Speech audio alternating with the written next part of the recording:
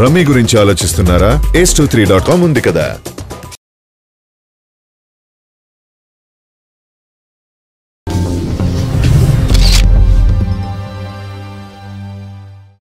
బాహుబలి కోసం నాలుగేళ్ళ సమయం వెచ్చించాడు ప్రభాస్.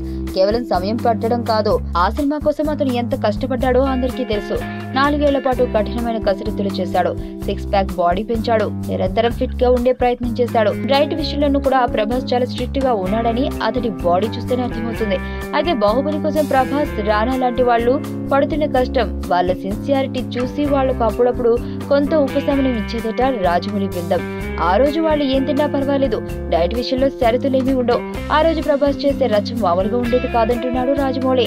చీటింగ్ మీల్ డే పేరుతో అప్పుడప్పుడు ఫుడ్ విషయంలో కండిషన్లు పక్కన పెట్టి ఎవరికేం కావాలంటే అది తినే వెసులుబాటు ఇచ్చేవారట. బిర్యానీ అంటే చాలా ఇష్టపడే ప్రభాస్ ఆ రోజు ఏకంగా పదిహేను దాకా బిర్యానీ వెరైటీలు తయారు చేయించి పెట్టుకునేవాడట. పదిహేను రకాల బిర్యానీలంటే మాటలు కాదని దీన్ని బట్టి ప్రభాస్ టేస్ట్ ఎలాంటిదో అతను ఎంతటి భోజన ప్రియుడో అర్థం చేసుకోవచ్చని అన్నాడు రాజమౌళి. ఇంకా అనేక రకాల నాన్ వెజ్ వెరైటీలు కూడా ప్రభాస్ కోసం రెడీ అయ్యేవట. వాటన్నింటినీ టేస్ట్ చేస్తూ ఎంజాయ్ చేసేవాడని రాజమౌళి తెలిపాడు. ఇలా ఓ సందర్భంలో ఈ నాన్ వెజ్ వెరైటీతో పాటు చట్నీ కోసం ప్రభాస్ అడిగాడని అప్పటికది అందుబాటులో లేకపోవడంతో ప్రభాస్ బంధువు ఒక ఆయన రాత్రి రెండు గంటల ప్రాంతంలో తన ఇంటికి వెళ్ళి భార్యను లేపి చట్నీ చేయించుకుని వచ్చి అతడికి పెట్టాడని రాజమౌళి వివరించాడు.